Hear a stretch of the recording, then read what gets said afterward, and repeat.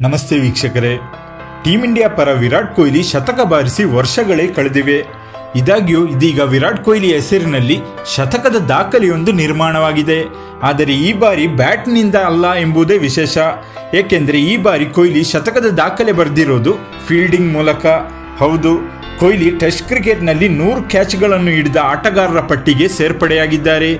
ದಕ್ಷಿಣ Africa ವಿರುದ್ಧದ ಮೂರನೇ test ಪಂದ್ಯದಲ್ಲಿ ವಿರಾಟ್ ಕೊಹ್ಲಿ ಎರಡು ಕ್ಯಾಚ್ಗಳನ್ನು ಹಿಡಿದಿದ್ದರು.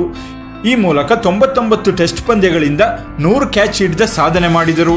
ಅಷ್ಟೇ ಅಲ್ಲದೆ ಈ ಸಾಧನೆ ಮಾಡಿದ ಟೀಂ ಇಂಡಿಯಾದ ಆರನೇ ಆಟಗಾರ ಎನಿಸಿಕೊಂಡರು. ಇದಕ್ಕೂ ಮುನ್ನ ರಾಹುಲ್ ದ್ರಾವಿಡ್, ವಿವಿಎಸ್ ಲಕ್ಷ್ಮಣ್, ಸುನಿಲ್ ಗಾವಸ್ಕರ್, ಸಚಿನ್ ತೆಂಡೂಲ್ಕರ್ ಹಾಗೂ ಮೊಹಮ್ಮದ್ ಅಜರುದ್ದೀನ್ ಈ ಸಾಧನೆ ಮಾಡಿದ್ದರು. ಇದೀಗ ವಿರಾಟ್ ಕೊಹ್ಲಿ ಕೂಡ ಕ್ಯಾಚ್ಗಳ ಮೂಲಕ ಶತಕ ಪೂರೈಸಿದ್ದಾರೆ. ಇನ್ನು ಈ ಪಟ್ಟಿಯಲ್ಲಿ ರಾಹುಲ್ ದ್ರಾವಿಡ್ ಅಗ್ರಸ್ಥಾನದಲ್ಲಿದ್ದಾರೆ. ರಾಹುಲ್ ದ್ರಾವಿಡ್ ಟೆಸ್ಟ್ ಕ್ರಿಕೆಟ್ನಲ್ಲಿ ಇನ್ನೂರ ಒಂಬತ್ತು ಕ್ಯಾಚ್ಗಳನ್ನು ಹಿಡಿಯುವ ಮೂಲಕ ದಾಖಲೆ ನಿರ್ಮಿಸಿದ್ದಾರೆ.